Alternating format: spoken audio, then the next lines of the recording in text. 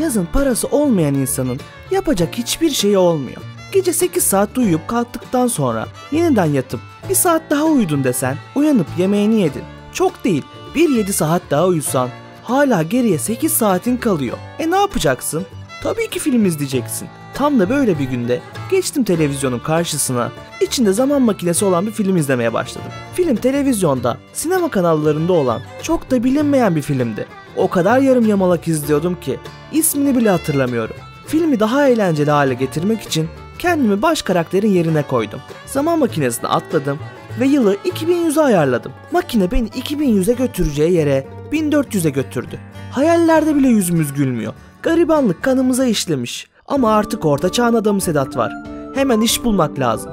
Orta çağda adamı yerler. İlk iş hep oyunlarda gördüğüm demircilik var. Kılıç döver, şövalyelerle tanışırım. Mevzu olduğu zaman arkayı sağlama alırım dedim. Ama nereden bilecektim ki gün boyu sağa sola sırtımda onlarca kilo demiri taşıyacağımı. Zaten demiri sürüyerek çektiğim görününce kovuldum. Kovuldum dediysem bir güzel orta çağ dayağı yedikten sonra tabi. İkinci işim demircide karşılaştığım hamamcının yanına gitmek oldu. Adam nereden geldiğimi anlayamadı başta. Ama sonra durumu anlayınca içten içe gülmeye başladı. İşin içinde bir pislik olduğunu anlamalıydım. Yine de müşteri memnuniyetidir deyip tahta fıçılarla sıcak su taşımaya başladım. O son gelen soylu tüm işi değiştirdi. Bana bakıp bıyığını burmasını anlamalıydım. Zaten biraz dengesiz bir herifti. Daha sabunu bile tutmayı beceremiyordu. Burası pek benim çalışacağım bir tipte hamam değildi. Dedim dayı Allah'a emanet. Hemen çıktım oradan. Üçüncü durağım kilise oldu. Yaradanın evidir dedim. Adımımı attım. Bismillah demeseydim daha iyi olacak. Yine de kabul ettiler. Bayağı da iyi davrandılar. Ama ne biçim mezhepleri varsa üzerime öyle bir kıyafet verdiler ki akşam olup çıkarttığım zaman her yanım kıpkırmızı kesilmişti. Ertesi gün acı çekmek için elime bir kırbaç verdiler. Adettir dedik ağzımızı açmadık. Kırmızılama kırmızılık eklettiler.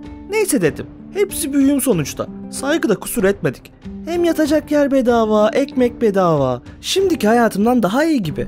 Kızarıklıklara sürmek için yoğurt aramaya çıktığım bir vakit bizim İsmail kadar olmasa da on numara bir deliyle karşılaştım.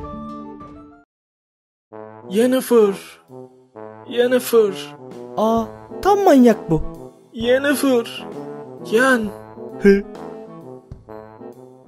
Sonradan öğrendim ki bu adam Witcher emeklisiymiş. Vaktinde bu ismini saydığı kadına da çok aşıkmış.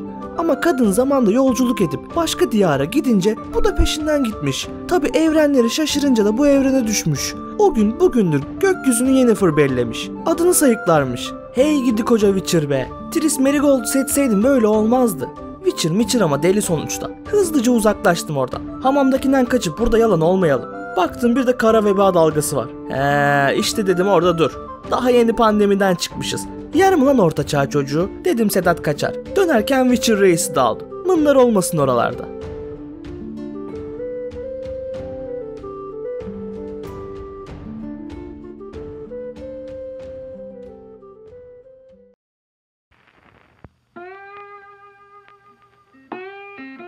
Bir bölümün daha sonuna geldik.